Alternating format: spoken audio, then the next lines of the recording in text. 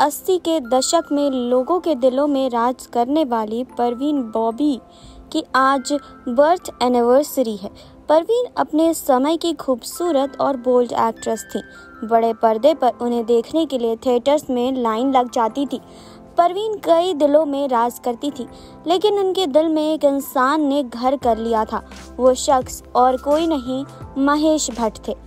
परवीन और महेश की love story के बारे में कई लोग जानते होंगे, लेकिन कैसे इस स्टोरी का अंत हुआ, ये शायद ही ज़्यादा लोगों को पता होगा। तो आज परवीन की बर्थ एनिवर्सरी पर बताते हैं इस अधूरी लव स्टोरी के बारे में। जी हाँ परवीन जब अपने करियर के ऊँचे मुकाम पर थी, तब उन्हें महेश भट्ट से प्यार हो गया था। दोनों की लव स्टोरी की शुरुआत 1977 में हुई। महेश उस समय शादीशुदा थे, लेकिन फिर भी वह परवीन बॉबी के साथ उस समय लिव इन रिलेशनशिप में थे। परवीन उस वक्त फ़िल्म अमर अकबर एंथनी की शूटिंग कर रही थी। सब कुछ सही चल रहा था।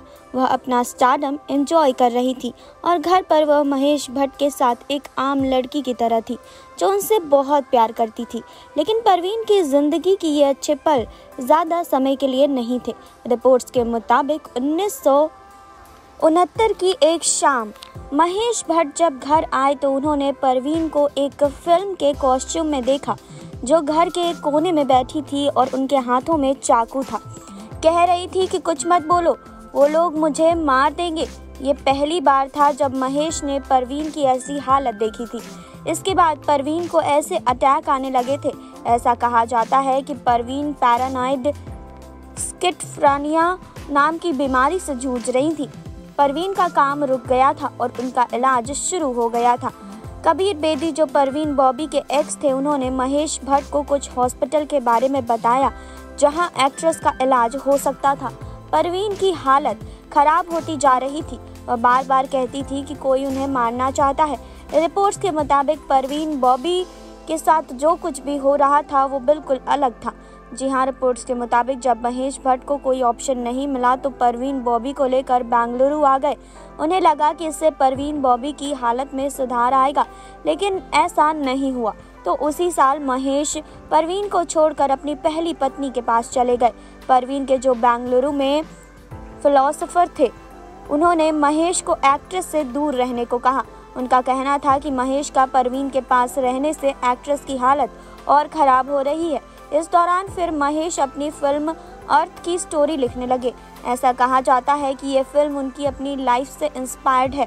जी हाँ इसकी कहानी बिल्कुल अलग है। इसके बाद परवीन भी अपना ट्रीटमेंट पूरा किए बिना वहाँ से चली गई। मीडिया रिपोर्ट्स के मुताबिक, एक दिन जब महेश और परवीन साथ में पर्सनल टाइम स्पेंड कर रहे थे, तब परवीन ने उनसे कहा कि उन्हें एक्ट्रेस और फिलोसोफर में से किसी एक को चुनना होगा क्योंकि फिलोसोफर ने परवीन की हालत देखकर उन्हें एक्टिंग की दुनिया में जाने से मना किया था और इस वजह से परवीन उन्हें पसंद नहीं करती थी। महेश ने फिर परवीन की इस बात का कोई जवाब नहीं दिया और वहाँ से देर रात चले गए। परवीन भी बिना कुछ सोचे उसी हालत में उनके पीछे भागी, लेकिन महेश ना उस वक्त पीछे देखे, ना ही वो वापस आए और ऐसे इस कहानी का अंत हो गया। 2005 में महेश को कई मैसेज आने के बाद पता चला कि परवीन का निधन हो गया है। जब महेश भट्ट को पता चला कि उनके परिवार से कोई बॉडी को क्लेम करने नहीं आया है, तब उनका अंतिम संस्कार वो करने आए।